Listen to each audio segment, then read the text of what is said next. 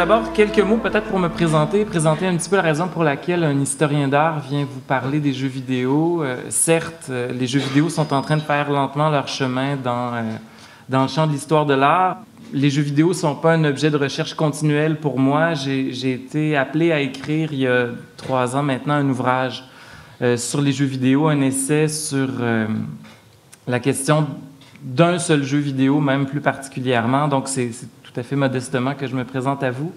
Euh, c'était un livre sur euh, un jeu par ailleurs assez célèbre, je crois, parmi, parmi les gens qui sont ici. Je suis assez certain que certains y ont joué, probablement trop. Euh, il s'agit de World of Warcraft, qui est une, bannière très connue, un des jeux les plus rentables de l'histoire des jeux vidéo.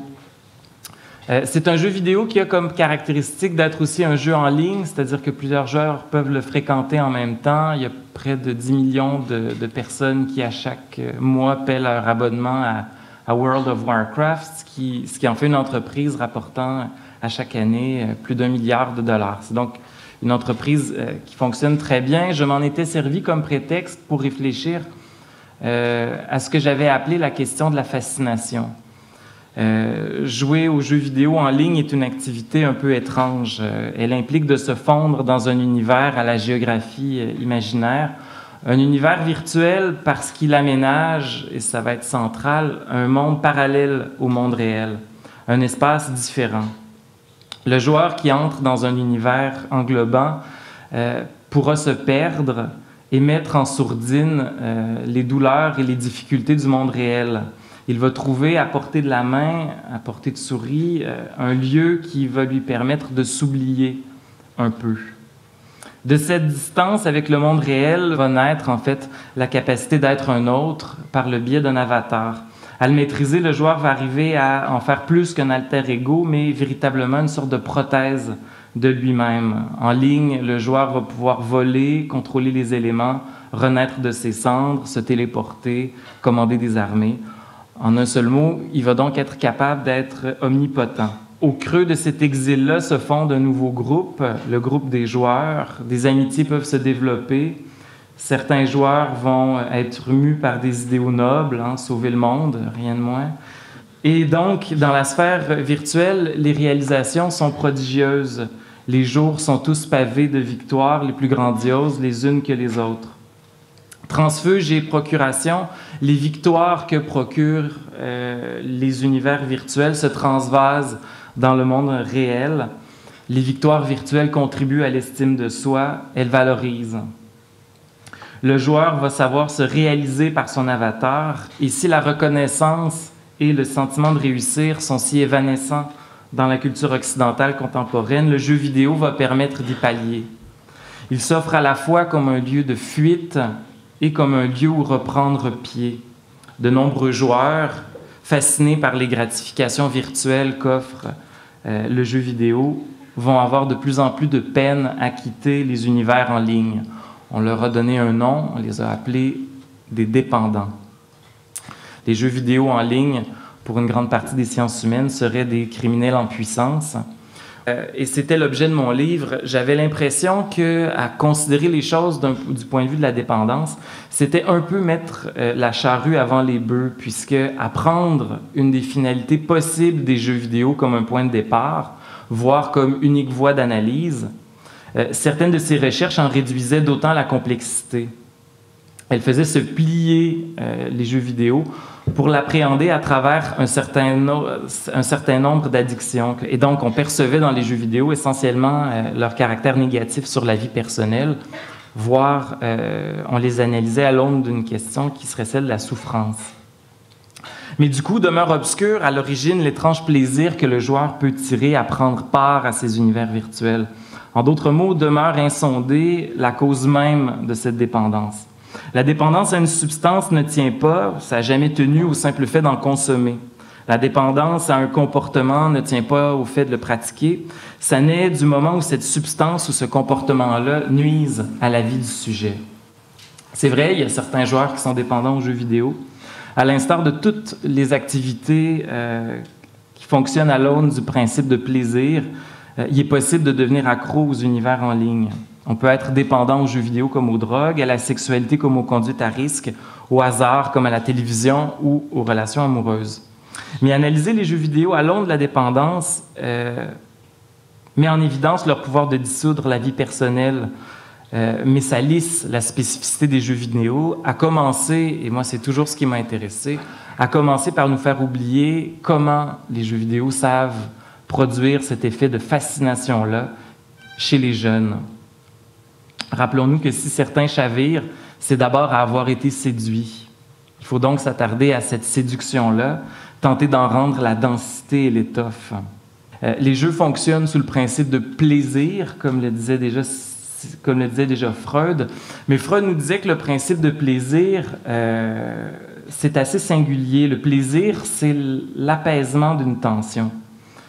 Dans cette perspective-là, euh, mon ouvrage travaillait sur la popularité des jeux vidéo en se demandant quelle tension est-ce que les jeux vidéo permettent d'apaiser.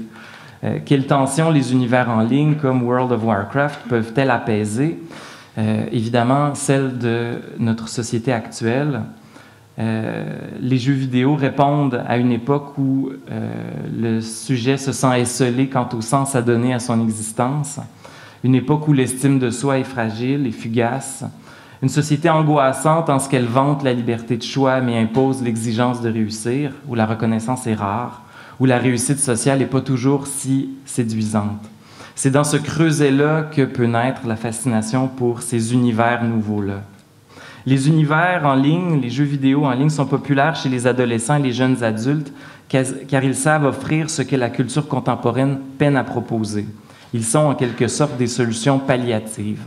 Euh, l'écrivain de contes féeriques, pour Roger Caillois, est un peu toujours un sorcier, un démiurge c'est quelqu'un qui va créer un autre monde, un monde parallèle au monde réel. C'est un monde qui est extraordinaire puisqu'il est extrêmement cohérent, euh, mais il ne faudrait pas y chercher les mêmes règles que celles du monde réel. Sa logique et ses lois sont complètement autres. Hein. Les enfants nous le diraient. Peter Pan peut voler, Alice peut changer de taille, Gandalf peut revenir à la vie. À quoi bon rêver d'un autre monde si c'est pour lui donner les mêmes règles, la même logique que le nôtre? Le féerique, c'est ce qui loge de l'autre côté du miroir, pour continuer la métaphore. Ces références au monde réel permettent de s'identifier au héros, mais c'est un monde fondamentalement différent du nôtre. Tandis que le fantastique, pour aller plus vite, il aménage pas un nouveau monde, il va, si vous voulez, instiller de la magie dans le monde tel qu'on connaît la magie ou le démoniaque va y sourdre, va sourdre du monde quotidien. Toute la littérature fantastique du 19e, d'Edgar Allan Poe à, Lovecraft, dans une certaine mesure, tient du fantastique, puisqu'on propose moins un autre monde que l'idée que dans notre monde existeraient des zones d'ombre d'où sortiraient des figures étranges. Dans l'univers féerique, la magie n'est pas une parenthèse, elle irrigue le monde. La magie est tissée à même le rythme de l'univers, elle contribue à sa morale et à sa stabilité. Le destin des princes et des princesses est de vivre heureux, celui des rois de régner longtemps, celui des lampes à l'huile de contenir des génies. Les ruptures de ce monde-là marquent le début d'un conte et le retour à l'équilibre, celui de sa solution. S'il est manichéen dans sa morale, l'univers féerique aspire à la victoire du bien. Le conte de fées propose une magie sans contrepartie, un pouvoir sans malédiction secrète. Le plaisir de plonger dans cet univers-là ne souffre d'aucune réserve. Univers où les lois physiques se plient aux volontés de la magie, où il est d'autres espèces intelligentes, où les démons sont monnaie courante, où le bien se confronte au mal. World of Warcraft est évidemment un univers féerique. C'est peut-être pour les amateurs de féerie la quintessence de cet univers-là. Pour Roger Caillois, la littérature féerique naît d'une culture où l'homme est encore largement vulnérable aux caprices et aux colères de la nature. Au creux de cette condition-là, on peut en finir à rêver, à dépasser les limites, le fantastique succéderait à la féerie dans l'histoire de la littérature ou même en histoire de l'art, en ce qu'il serait le fruit d'un univers dominé désormais par la rigueur scientifique. L'homme aurait domestiqué la nature, on la craindrait moins, on rêverait moins d'univers féerique. Euh, évidemment, on peut remettre en question cette conclusion-là, surtout à l'aune de jeux comme World of Warcraft ou de tout un cinéma, en passant par Avatar, Le Seigneur des Anneaux, Le Hobbit. Euh, les, titres sont innombrables. Ce n'est peut-être plus cependant les forces de la nature qui contraignent l'homme, c'est d'autres pouvoirs qui s'en chargent désormais.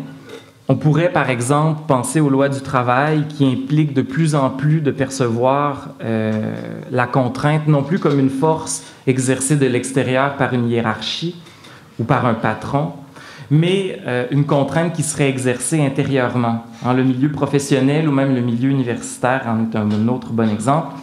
Euh, le professionnel ou l'universitaire, c'est plus quelqu'un qui subit passivement les exigences qui lui sont imposées. Euh, c'est quelqu'un qui doit au contraire investir les valeurs d'une entreprise, les faire siennes, les intégrer. Désormais, le travail se mélange à la vie quotidienne, euh, vie personnelle et travail se confondent. La nature perverse de cette condition-là fait qu'on perçoit comme une qualité ce qui est aussi une certaine forme de contrainte, puisque désormais, on a le sentiment d'être soi-même responsable de sa réussite. La cadence et les exigences du monde seraient intégrées, seraient intérieures. Le sujet les aurait à ce point intégrés à son paradigme personnel qu'il formerait désormais la lentille à travers laquelle il regarderait le monde. Il n'aurait désormais que lui-même à blâmer pour ses insuffisances, pour ses insuccès, pour ses doutes. On le sait très bien, la permissivité de notre culture est une apparence. Le sujet s'impose à lui-même, dans le silence de sa conscience, ses propres contraintes. On est désormais notre propre juge et on est désormais aussi, déjà Lacan le disait, on est désormais le juge le plus sévère que l'on peut imaginer. Il y a une interprétation assez intéressante de la façon dont les érinies, qui sont des furies euh, dans la mythologie antique, pourchassaient les coupables de leurs crimes plutôt que de les punir directement, plutôt que de se venger, que de les attaquer, elle ne faisait qu'une seule chose, et à mon avis, c'est peut-être le mot de notre époque, elle augmentait le volume du monologue intérieur des coupables. Et c'était par, leur propre culpabilité qu'ils devenaient fous, en fait. En augmentant le volume de leur monologue intérieur, ils devenaient prisonniers de leurs coupables et euh, soliloques, incapables de s'en échapper, les criminels devenaient fous les univers euh, virtuels, c'était une de mes thèses, se présentent comme une fuite. En nous proposant un univers parallèle, ils nous permettent d'échapper à notre propre condition, de plonger dans un univers englobant, immersif, rassurant puisque euh, les contraintes y sont claires, l'estime de soi est valorisée puisqu'il est désormais possible de réussir, aussi parce qu'une institution une autorité extérieure, les lois du jeu lui-même, nous récompense pour nos, victoires, pour nos réussites. Et donc, le jeu vidéo nous procure une chose qui semble avoir échappé, c'est-à-dire ça nous permet de nous créer d'autres lieux de reconnaissance. Plus le joueur joue au jeu vidéo, moins il obtient de reconnaissance de d'autres sphères que celle de l'univers en ligne. Plus il joue, plus il obtient de la reconnaissance de cet univers-là dans une spirale qui peut être dangereuse.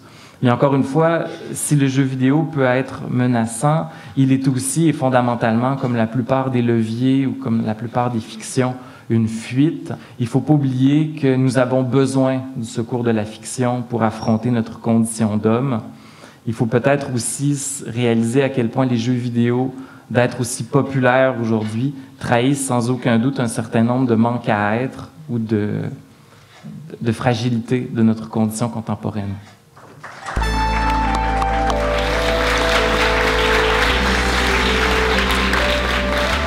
Je vis dans un monde d'informaticiens. Euh, mon mari est informaticien, mes amis sont informaticiens. Et bien entendu, quand j'ai commencé à m'intéresser à la question, ils m'ont dit Voyons, Magali, es-tu en train de nous trouver, de nous pathologiser? On ne peut pas avoir aucun plaisir sans que tu vois des problèmes. Mais la, question est venue un peu en disant euh, Parce que présentement, le terme dépendance est presque à la mode. Hein. On est dépendant à tout, au chocolat, au thé, euh, etc.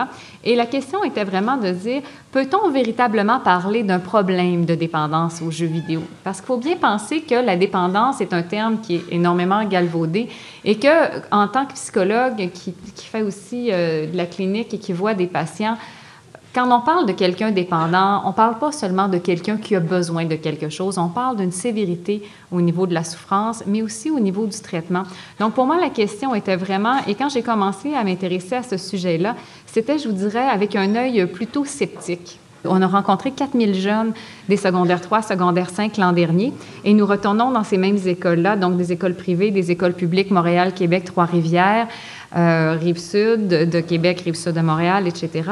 Et c'est une étude qu'on fait euh, conjointement avec l'UQTR, euh, avec Natacha Brunel, et on s'intéresse à la fois à toutes les activités de ces jeunes au niveau des jeux d'hasard et d'argent, de l'alcool, de la délinquance, des stratégies de coping, et bien entendu, pour la première fois, on a regardé leur activité Internet en général. Donc, euh, au niveau des textos, parce qu'on trouvait ça quand même passionnant de voir qu'est-ce qu'ils font, ils ont un forfait quand même assez important, puisque 200 textos sont envoyés en moyenne par semaine pour 32 euh, N'oubliez pas que ce sont tous des jeunes qui vont à l'école. Donc, on a un 10% qui passent plus de 40 heures semaine sur Internet et nous en avons 4% qui sont à 60 heures et plus. 60 heures et plus, ça commence à être quand même très important. Des jeux, euh, comme euh, le professeur euh, Coulomb parlait, les MMORPG, donc, dont World of Warcraft est peut-être celui le plus connu, 22% y jouent. Et nous avons 1,4% qui jouent plus de 40 heures semaine. D'autres types de jeux, ce qu'on a appelé, nous, les jeux en réseau, parce que ça devient extrêmement compliqué, vous comprendrez, faire une étude, avoir la même définition des jeux quand même en parlant avec des producteurs de jeux eux-mêmes n'arrivent pas à définir. On les a tous mis ensemble, donc on les a appelés les jeux en réseau. On avait, bon, 39% qui disaient jouer toutes les semaines et 1,6% euh, qui disaient jouer euh, environ 30 heures et, et un autre 1,4% qui joue plus de 40 heures semaine une somme d'heures quand même significative, bien que le nombre d'heures ne soit pas euh, un indice de pathologie. Euh, ça montre quand même, euh, en tout cas, une intensité de l'activité qui peut amener quand même à se questionner. Donc, on parle de êtes-vous préoccupé par les jeux sur Internet? Au niveau de la tolérance, avez-vous besoin d'augmenter le nombre d'heures d'utilisation pour obtenir le même style de satisfaction? Est-ce que la personne a tenté de contrôler, diminuer ou arrêter son utilisation d'Internet? Y a-t-il des symptômes qui pourraient ressembler à du sevrage? Donc, êtes-vous irrité, irritable ou déprimé quand vous tentez de diminuer votre utilisation d'Internet? Est-ce que, euh, vous savez, est-ce que vous savez des conséquences et que euh, finalement, euh, vous continuez, vous persistez dans votre comportement malgré le fait que ces conséquences-là soient dues euh, aux problèmes de, de, gaming? Est-ce que vous avez diminué votre intérêt pour d'autres activités sociales ou avez-vous même perdu tout intérêt pour d'autres aspects que les jeux vidéo? Avez-vous risqué de perdre une relation significative? Est-ce que vous mentez à votre famille pour cacher votre utilisation de jeux Internet?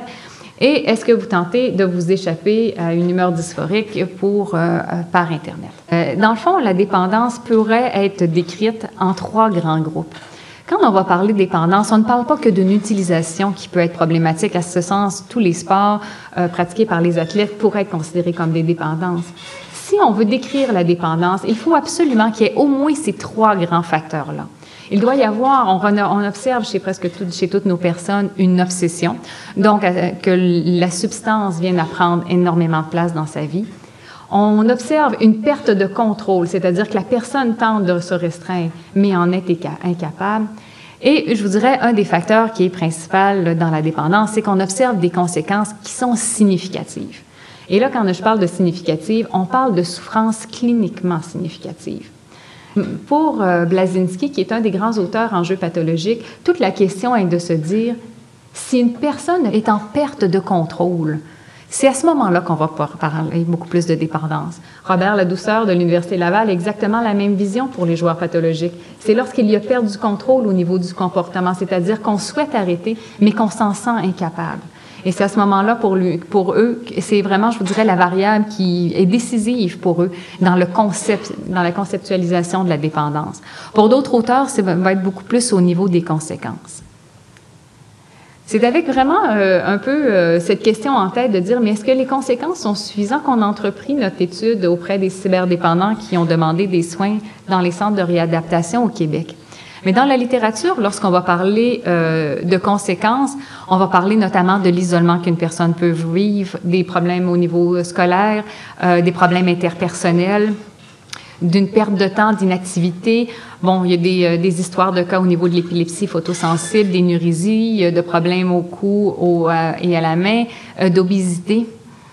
Mais avec nos cliniciens, lorsqu'on a fait notre étude, on s'est posé la question, dans le jeu vidéo, on parle beaucoup de la perte de temps. Or, perdre du temps, il y a plusieurs façons de faire ça.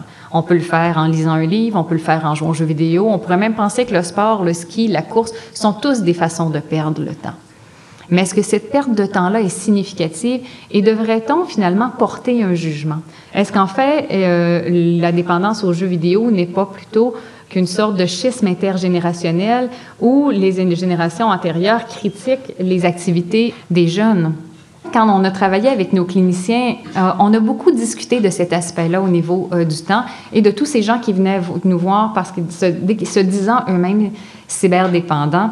Et ce qu'on a constaté, c'est que perdre du temps peut avoir un coût. Et là, je ne vous parle pas de l'argent, euh, le, le temps, c'est de l'argent. Non, beaucoup plus que ça. En fait, ce qu'on a observé, c'est que chez plusieurs jeunes, cette perte de temps-là ou euh, cette fuite de la réalité, comme dirait professeur Coulomb, peut avoir un impact au niveau développemental suffisant pour amener des conséquences à long terme. Et plus cet écart-là se creuse, et plus il devient difficile de récupérer. Et en ce sens-là, nos cliniciens, je trouvais, l'avaient assez bien illustré en disant, ils deviennent avoir, à, presque avoir une dette de temps, un peu comme un joueur devient avoir une dette d'argent.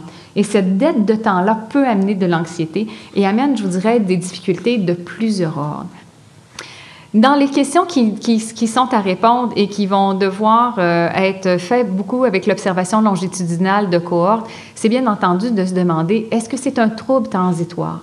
On est toujours très prudent lorsqu'on travaille avec des jeunes, notamment au niveau de la consommation. On sait que euh, dans la période de 16 à 20 ans, il y a souvent une augmentation de la consommation qui n'est pas nécessairement indicative d'un futur problème de dépendance. Ça fait partie de la socialisation, ça fait partie de l'intégration.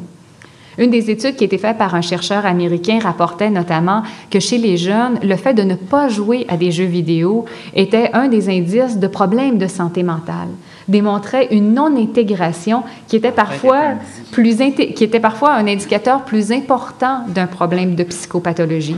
Et donc la personne n'arrivait plus à s'intégrer. Pourquoi n'était-elle pas, pas, capable? Donc il y avait plusieurs euh, plusieurs hypothèses, mais c'est clair que ça fait partie de la socialisation et du monde des jeunes. Donc, on ne peut pas regarder ça que du point de vue euh, pathologique. Et si on a des pics à certains moments de plus grande utilisation ou parfois même d'un début de conséquence, est-ce qu'en fait, ce n'est que transitoire, une période développementale plus difficile et qu'ensuite, ça va se résorber? comme ce l'est parfois pour la consommation de jeunes universitaires, dont vous ne faites sûrement pas partie, mais qui peuvent arriver pendant certaines périodes de la vie.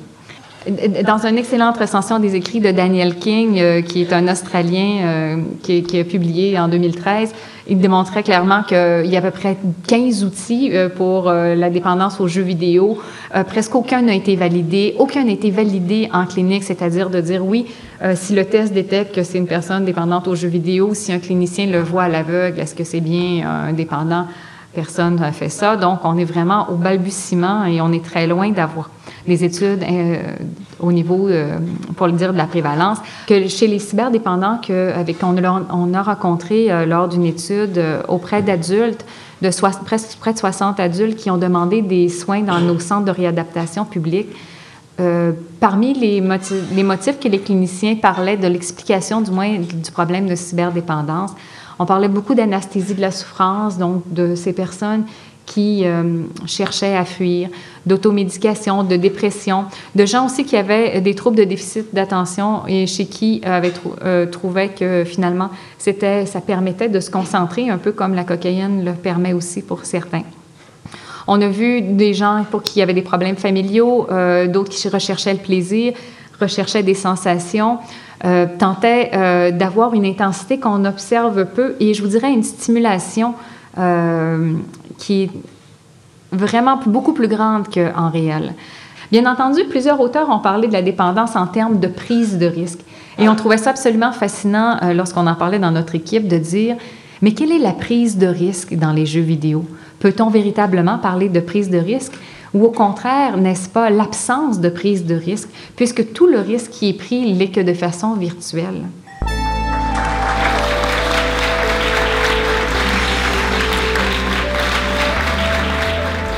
Je me sens un peu comme euh, un cultivateur de cannabis à une présentation sur la dépendance. Euh, je suis le diable qui met euh, le vice dans vos maisons. Donc, je m'excuse.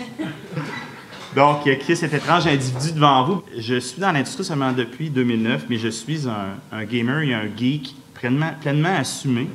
Euh, j'ai l'âge du jeu vidéo, donc je suis né en 1971, j'étais probablement prédestiné à travailler là-dedans. Euh, je suis un peu comme un, euh, cinéphile qui travaille derrière la caméra. c'est, un médium, un produit qui m'a fasciné dès mon, plus jeune âge et j'ai eu l'occasion de travailler avec des gens complètement flyés, puis c'est de eux dont je vais vous parler aujourd'hui, non pas de nos produits, mais des gens qui travaillent dans cette industrie-là. et qu'est-ce que c'est travailler avec cette bande de fous-là. Alors, euh, je vais vous parler de trois choses. L'âge de notre industrie, je vais le faire quand même assez brièvement. Euh, le fait qu'on vit dans une culture de changement constant et ça a des impacts assez lourds sur notre euh, manière de gérer les choses. Et bien entendu, qu'est-ce que c'est de travailler dans un milieu de passionnés? Parce que c'est ça, le jeu vidéo, c'est une passion. La passion peut mener à la dépendance, effectivement. C'est un milieu où il n'y a pas de modèle pour la prise de retraite. sais, tu prends pas ta retraite en jeu vidéo, ça va commencer, là. J'en ai des vieux chez moi qui ont 50 ans. Mais euh, pour vous donner un, exemple, c'est les X, les vieux chez nous. Moi, je suis un pépère là, dans mon studio. J'ai 43 ans. C'est la première fois de ma vie que je fais grimper dramatiquement la moyenne d'âge à quelque part. C'est un milieu très, très particulier. De, pour les X, c'est capotant de voir qu'on est des vieux. Là. Pas censé être vieux. Tout de suite, on a 40 ans. Mais c'est nous, les vieux, dans l'industrie. Les boomers, c'est des ancêtres antédiluviens. Euh, non, pas des dinosaures, avant. Avant, c'est ça. Euh, c'est un milieu où on gravit des échelons à une vitesse folle. Euh, je vais vous expliquer un petit peu euh, pourquoi par après. ça fait qu'on devient senior en cinq ans. Moi, je capotais. Quand je suis rentré dans l'industrie du jeu vidéo, j'avais à peu près 10 ans d'expérience en, RH. Et mon Dieu, tu as de l'expérience. Ben, arrête, je viens d'arrêter d'être junior, moi, là, de 10 ans, arrête. Mais dans ce domaine-là, quelqu'un qui a 10 ans d'expérience, c'est considéré comme un, vieux bonze de, l'industrie. Euh, parce que l'industrie a 40 ans. Euh, c'est comme un marathon, c'est pas tout le monde qui se rend jusqu'à la fin. Euh, c'est une industrie très exigeante, très exigeante, pardon, donc un très haut taux de roulement. Si bien qu'après cinq ans, tu te ramasses souvent peu mal dans, le tiers ou dans la demi de la courbe d'expérience de ton, en année de service de ta boîte. Donc, ça crée un espèce de modèle euh, très particulier au niveau de l'ascension, qui ressemble un petit peu au modèle de jeu vidéo. Hein. Tu unlock tes achievements assez rapidement euh, dans l'industrie. C'est une culture de changement. Euh, l'industrie bouge au rythme des mises à jour de votre iPhone. Euh, depuis septembre 2009, il y a eu 37 mises à jour d'iOS sur euh, 4, quatre générations de systèmes d'opération. Ça, c'est juste pour iOS. Je ne parle pas des versions Android, sinon euh, je, je saignerais du nez. Euh, la, sortie, entre autres, en ces quatre années-là, il, il, est sorti une multitude d'appareils qui servent maintenant de plateforme de jeu. Euh, il y a la Ouya qui, va sortir bientôt comme console. Il y, a la, console de Steam qui va sortir bientôt. Si bien que l'exposition que vous voyez au Musée de la civilisation présentement, dans cinq ans, on pourrait la doubler. Puis, vous en avez tous dans vos, vous en avez tous dans vos poches. Ça ici, là, si vous allez, si vous comparez la, la puissance de processeur qu'il y a là-dedans et que vous allez au Musée de la civilisation, si vous cumulez la puissance de processeur de tous les appareils qu'il y a dans la salle, vous devez traverser la moitié de l'exposition et vous n'êtes même pas encore arrivé à ça. ça tient dans votre poche. Tu sais, ouais, hein, toi, là. là. Mais c'est fou, là. Ça veut dire que probablement, puissance pour puissance, dans deux ans, ça, ça tient dans ça. Donc, il y a quelque chose qui fait que ça bouge énormément. Les capacités qu'on a, ce qu'on est capable de faire en jeu vidéo, La Kinect qui est sortie il y a deux ans, qui est déjà désuète, euh, là, cinq ans, tout le monde a c'est de la science-fiction, capter le mouvement en temps réel, t'es fou. Mais tabarouette, on est en train de faire de la R&D pour le faire sur des jeux mobiles, avec les petites caméras poches qui vous prennent en image floue. Là. Ben, on va être capable de le faire. C'est une question de temps. Donc, ça change comme ça. Au niveau des consoles, ça change un peu moins vite, mais quand ça change, ce sont des révolutions. Pensez à la différence entre une Xbox et une Xbox 360, entre la PS3 et la PS4.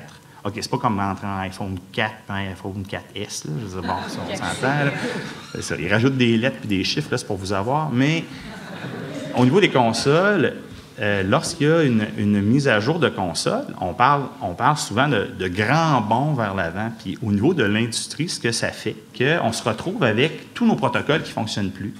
Euh, toutes les plugins qu'on met attachés dans notre, dans notre jeu pour parler à Facebook, prendre vos courriels, euh, publier vos résultats, inviter un ami à jouer avec vous, faire du chat, ta, ta, ta, À chaque fois qu'il y a une nouvelle génération de bebelles qui sort, il faut tout recommencer.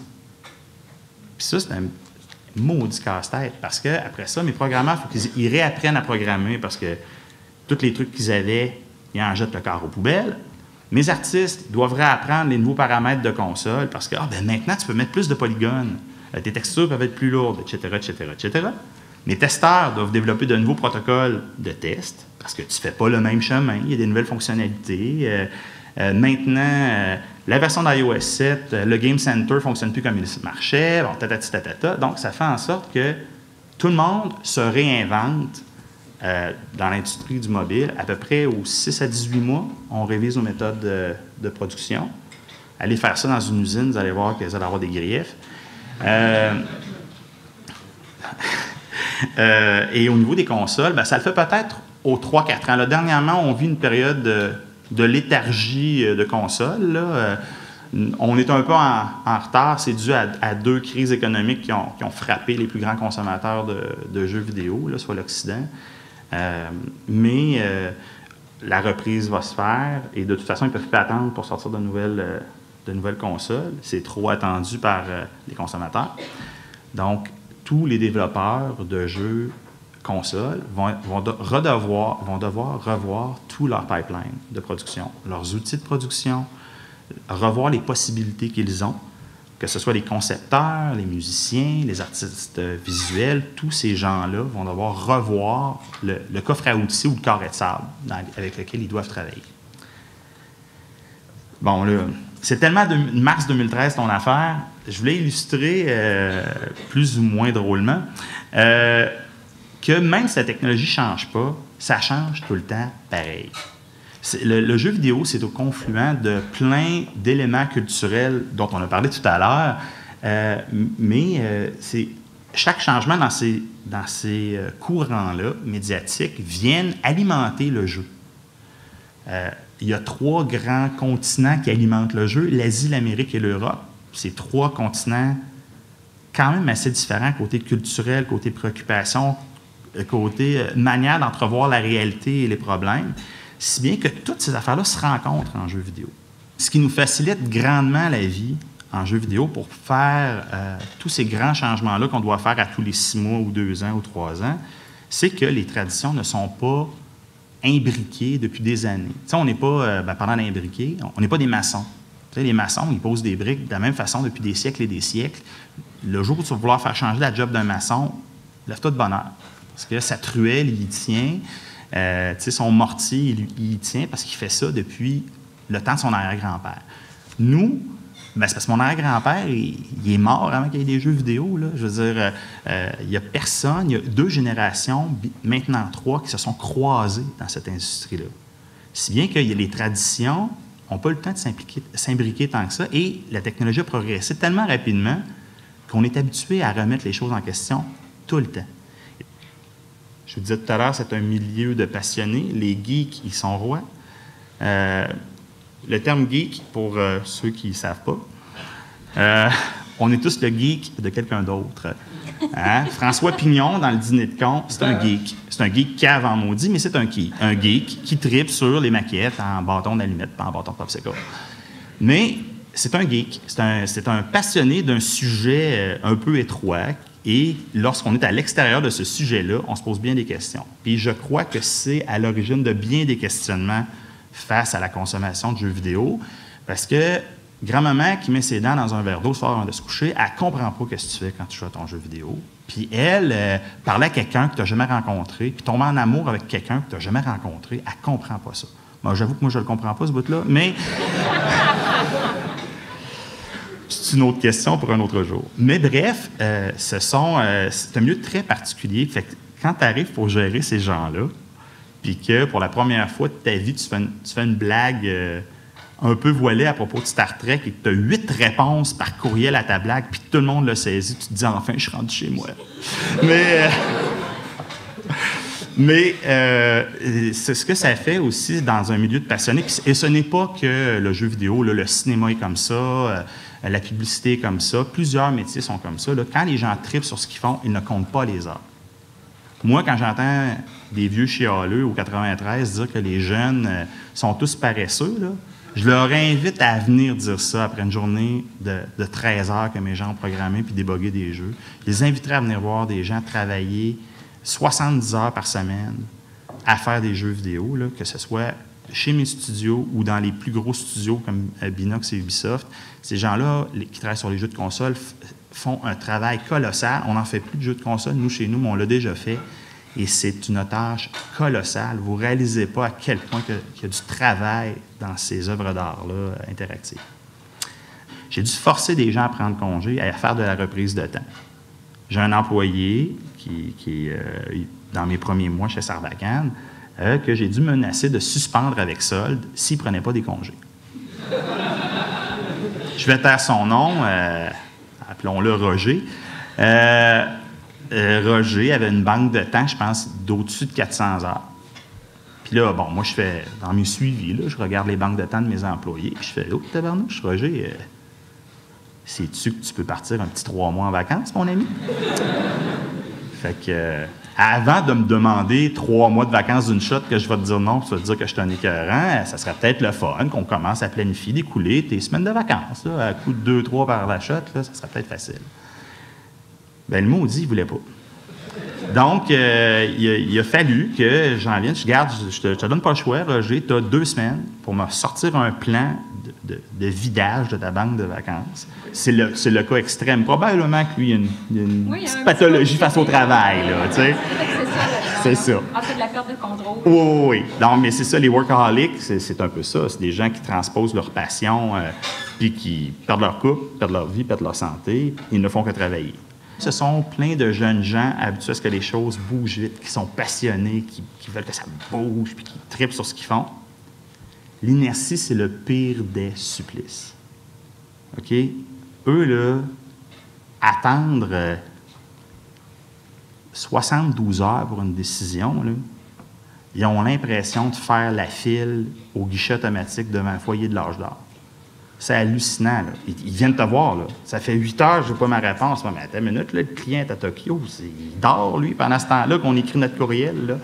Mais, je veux dire, ces gens-là sont tellement pas habitués à ce que ça bouge pas vite que c'est la pire des affaires qu'on peut faire. Fait que euh, les, les, X plus, euh, les X plus vieux et les boomers voient les gens de notre industrie comme étant des petites princesses capricieuses, euh, des gens insolents, impatients. On l'est aussi, c'est vrai. parce que le milieu, le mode de production nous l'a demandé. On n'a pas le choix, il faut s'adapter, sinon on meurt. Donc, on devient on prend ce rythme-là, et quand on sort de ce rythme effréné-là, on a l'impression que le reste du monde va au ralenti. Le jeu vidéo, c'est le jeu doit être livré à la date prévue, quoi qu'il advienne. Tu sais, Binox, ont travaillé sur Amazing Spider-Man, il fallait que ça sorte en même temps que le film. Quand on a travaillé sur Captain America, il fallait que ça sorte en même temps que le film. Puis Disney, ce sont des, euh, euh, collaborateurs, des patrons et des, clients euh, qui sont très exigeants et euh, eux, là, la date, elle est immuable. et c'est Disney. Donc, euh, ils ont plus de budget que la ville où vous vivez présentement. Donc, euh, tu, peux, es obligé de, suivre. Et je dis Disney, ça pourrait être, ça pourrait être Bungie, ça pourrait être n'importe quel autre grand de l'industrie médiatique ou du jeu vidéo. ces gens-là veulent absolument que vous livriez, puis ils ne veulent pas que vous livriez quelque chose de tout croche. Là. On parle, de non euh, et intarissables dans l'industrie du jeu. Alors, quand on travaille avec ces gens-là, on se doit de livrer la qualité à la date prévue, euh, sinon, c'est la fin du monde. Ce que ça prend dans ce, dans ce monde-là, ça prend beaucoup de flexibilité, parce que tout change très vite.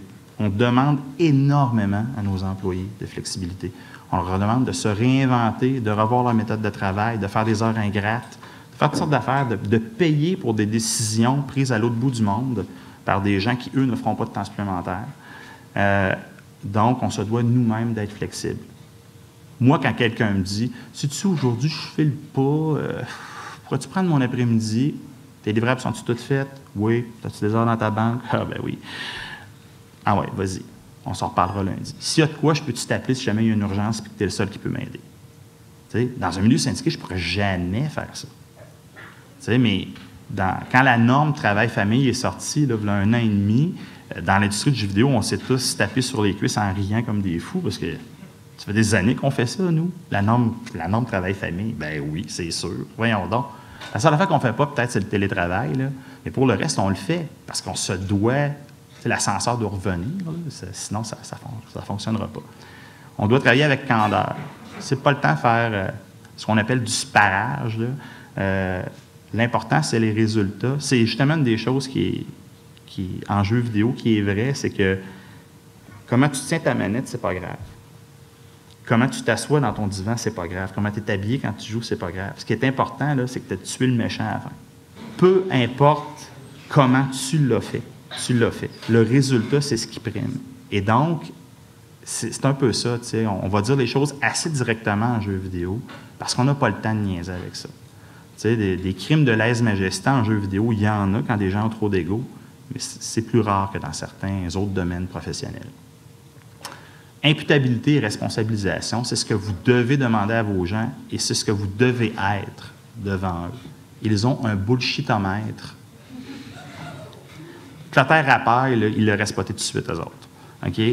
Mais c'est vrai, le, faux semblant et euh, l'hypocrisie, euh, les, phrases creuses de conseillers en développement euh, personnel, rien n'était possible, à qui rêve, toutes ces affaires-là. Là. Tu peux pas dire une phrase comme ça dans une équipe de travail. Si tu le dis, il faut que tu le dises en dérision pour que tout le monde rit bien de ta bonne blague. Mais je veux dire, tu peux peux pas faire ça et tu peux pas euh, demander après ça à ces gens-là de faire tout ce que tu leur demandes de faire si toi, tu n'es pas sincère dans ce que tu fais. Et si tu n'es pas prêt, toi aussi, à mettre ta main sur le bio, euh, la tête plutôt sur le bio, euh, quand, ou la main, là, c'est, ça long.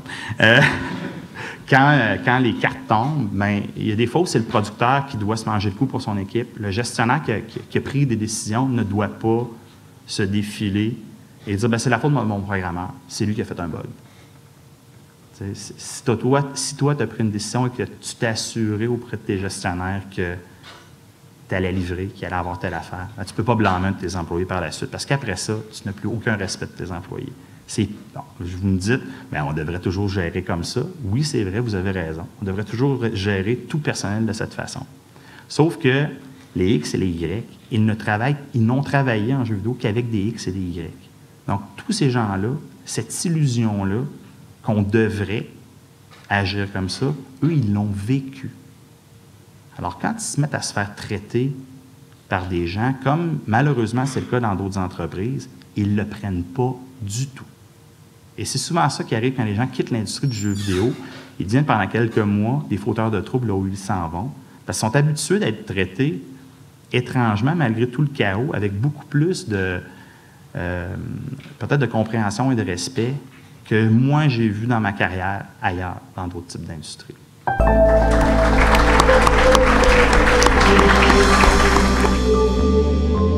Dans le, dans le jeu vidéo, il y a beaucoup de plaisir, aussi il y a de la stimulation, il y a de l'intensité. On ne veut pas substituer par bon, mais maintenant vous allez vous mettre à lire alors que la personne trouve qu'il n'y a absolument aucune stimulation, il n'y a pas d'intensité. Donc, c'est un renforcement, c'est aussi c'est ce qui fait que c'est si agréable.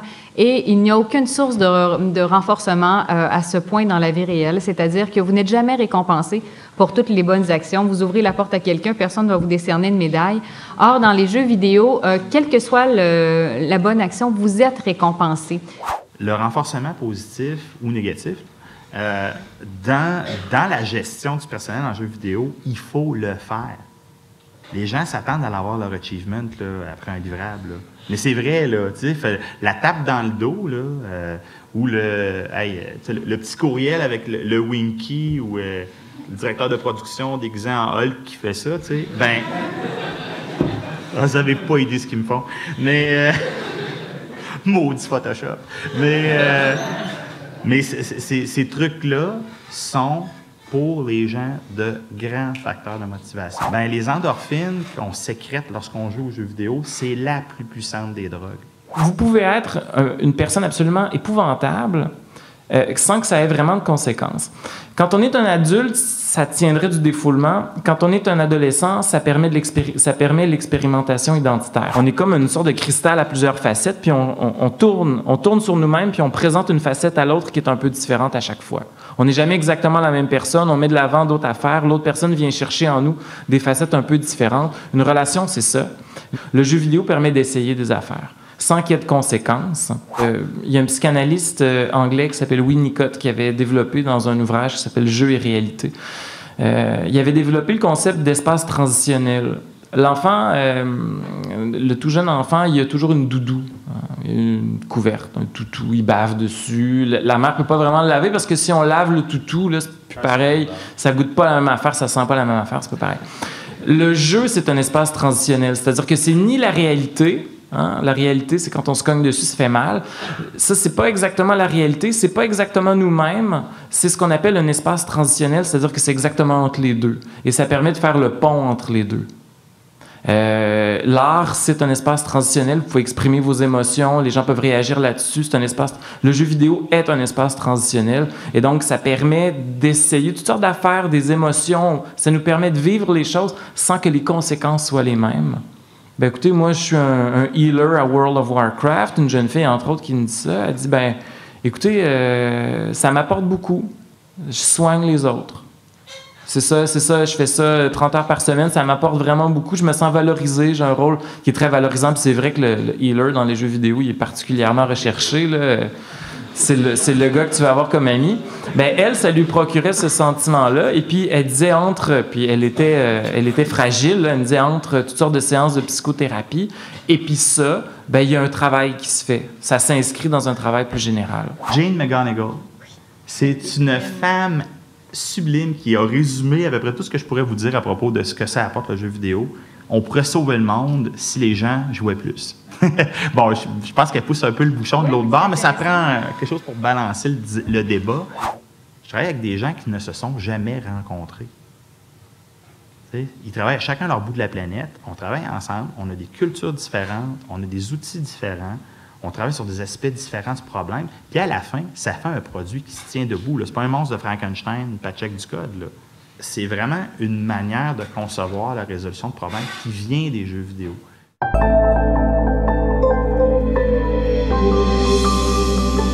Et oui, je joue à des jeux vidéo, j'ai joué, puis j'ai des petits garçons qui jouent à des jeux vidéo. Donc, je pense pas que c'est nécessairement mauvais. Au contraire, je pense que ça fait partie de la socialisation et ça fait partie des loisirs. Par contre, le surinvestissement dans les loisirs, et que ce soit en sport, je pense la même chose pour les gens qui font du ski toutes les fins de semaine puis qui sont pas capables de manquer une fin de semaine de ski. Je pense jamais que c'est une bonne chose. Donc, euh, trop d'intensité, pour moi, est quelque chose, et une rigidité dans, dans l'activité est toujours, euh, je vous dirais pas nécessairement pathologique, mais toujours inquiétante. Dans une autre vie, j'avais joué beaucoup. Euh, j'avais été champion du monde d'un jeu d'aviation quand j'étais plus jeune. Et puis quand j'avais joué à toutes sortes de jeux, j'avais passé des années à l'université à jouer des jeux vidéo la nuit, tout ça. J'ai fait ça, même au doctorat, j'avoue que je jouais aux échecs, mais je jouais des blitz euh, sur Internet aux échecs. Euh, et donc, quand on m'a approché pour écrire le livre sur les jeux vidéo, et je m'étais acheté d'ailleurs à l'époque, maintenant ça a moins de sens, mais pendant toute une, toute une génération d'ordinateurs, je m'étais acheté un Mac parce qu'il n'y avait pas de jeux tant que ça sur les Macs. On n'avait pas de problème, beaucoup moins de problèmes à l'époque. Je me suis dit, il fallait que je concentre mon énergie sur autre chose. Je me suis concentré sur euh, le monde universitaire, qui bon, on en discutera dans une autre vie, mais qui est aussi un jeu, qui, est un certain jeu académique. Il y a toutes sortes de règles, toutes sortes de façons de jouer à ça. Euh, et donc, pour le livre sur euh, World of Warcraft, j'ai joué, mon ami, beaucoup, beaucoup, beaucoup. beaucoup, beaucoup.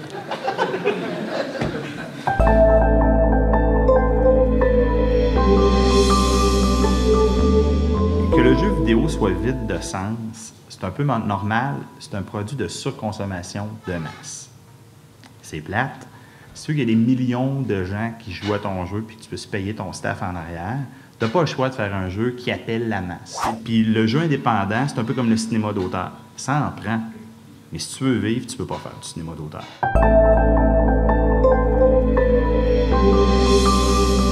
On voit quelqu'un qui gagne la médaille d'or aux Olympiques et puis descend une montagne le plus vite possible. Si on était un extraterrestre, euh, on trouverait ça un peu étonnant. Qu'on reconnaisse ça socialement, puis que ce soit quelqu'un d'absolument fondamental, que ce soit, que ce soit une chose extraordinaire, ça l'est sans doute, que ce soit une chose extraordinaire, c'est contingent, c'est symbolique, ça a une certaine part d'abstraction. Le gars qui réussit à gagner une épée magique parce qu'il est rendu niveau telle affaire à World of Warcraft, le sentiment de réussite qu'il a, c'est aussi une réussite symbolique. Euh, elle est, dans une certaine mesure, comparable. Toute chose étant relative, toute, toute chose étant égale, elle est comparable dans la mesure où la reconnaissance, elle est toujours symbolique. Tu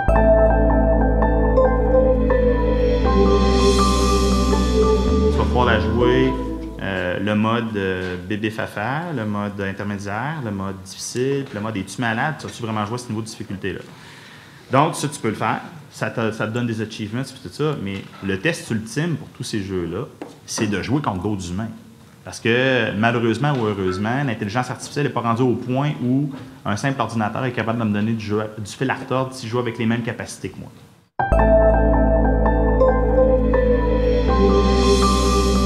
La fragilité entre le, le réel et l'imaginaire, entre la représentation puis la réalité. S'il y a un danger d'une menace, il est là. Il n'est pas dans la violence pure. Le théâtre antique était d'une violence inouïe. Euh, on n'a pas tendance à croire qu'ils étaient eux-mêmes d'une violence extraordinaire parce que c'était de l'ordre de la représentation. C'est la confusion des deux, à mon avis, qui est la violence. C'est ça la violence. De valoriser l'aspect guerrier n'est pas toujours une bonne chose, surtout pour des gens qui sont plus vulnérables. Et qui sont-ils, ces gens vulnérables-là? C'est tout ça qu'on essaie un petit peu d'identifier pour dire, mais voici, si vous avez ces caractéristiques-là, c'est peut-être pas une si bonne idée que ça de jouer avec autant de violence. Je suis pas prêt à dire que euh, la société est si violente que ça. C'est juste que quand il y a de la violence, on en fait un spectacle. Et ça, c'est vrai. La violence est devenue spectacle. Ça, je trouve ça plus troublant mais c'est peut-être une manière de sublimer la violence. L'histoire nous le dira, là, mais je ne suis pas certain, moi, du danger que ça représente.